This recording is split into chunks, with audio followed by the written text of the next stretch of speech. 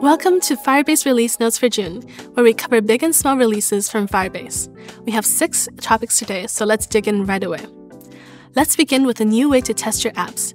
Android device streaming, powered by Firebase, is now generally available. Android device streaming allows you to test your applications on remote, physical Android devices hosted in Google's data centers. You can connect to and interact with the latest devices directly from Android Studio, including the new Google Pixel 9 series and select models from Samsung, Xiaomi, and others. After connecting, you can deploy your app, interact with the device, and perform any actions you could with a direct ADB connection. When your session ends, the device is wiped and factory reset for privacy. This feature is available at no cost for projects on the Spark plan with usage limits of 30 minutes per project per month. To get started, open the Device Manager in latest version of Android Studio and select a Firebase project. For detailed instructions, refer to the documentation linked in the description. The Crashlytics dashboard also received a couple of quality of life updates to speed up the debugging process. You can now preview your team's issue notes directly from the main issue list, providing immediate context. Additionally, for native Android crashes, you can now view tombstones within the issue details page to get more insight into memory-related failures.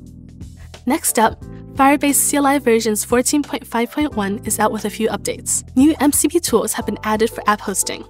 MCP stands for Model Context Protocol, an open standard with a goal to standardize how AI applications connect with external tools, data sources, and systems.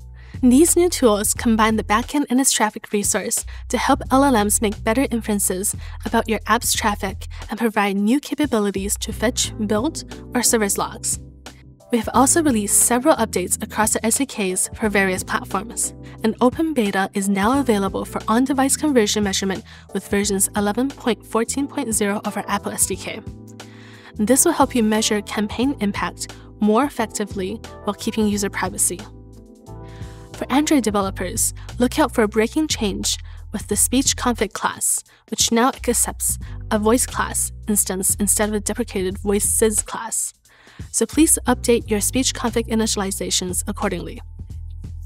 Speaking of breaking changes, C++ versions 12.8.0 moves the User Messaging Platform SDK to its own top-level library.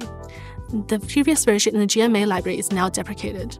JavaScript SDK version 11.9.0 now supports title, maximum, minimum, max items, min items, and property ordering for schema in AI logic. In Flutter version 3.12.0, the Firebase AI plugin now includes an example using Flutter SoLoud for audio outputs in live API streams. Pigeon support is also available in Analytics for improved cross-platform communication. As for our admin SDKs, we've added support in the proxy field in Android notification for Firebase Cloud Messaging in Go SDK version 4.16.1, Python SDK version 6.9.0, and Java SDK version 9.5.0 respectively. Finally, we recently announced a new experimental feature in the Firebase AI Logic Client SDK for Web, Hybrid On-Device Inference. Now you can try it for yourself on this interactive demo that we've built. This hybrid approach allows you to enhance privacy, have offline availability for your AI features, and potential cost savings. To try it out on your apps, enable the experimental on-device multimodal model flags in Chrome and set mode prefer on device when initializing your generative model. To understand this update in more detail and see it in action, take a look at this blog post, as well as the documentations linked below. Those are all the updates we have for today, and if you like this video, be sure to give it a thumbs up and subscribe to the channel below. My name is Cynthia, and I'll see you in a future episode of Firebase Release Notes.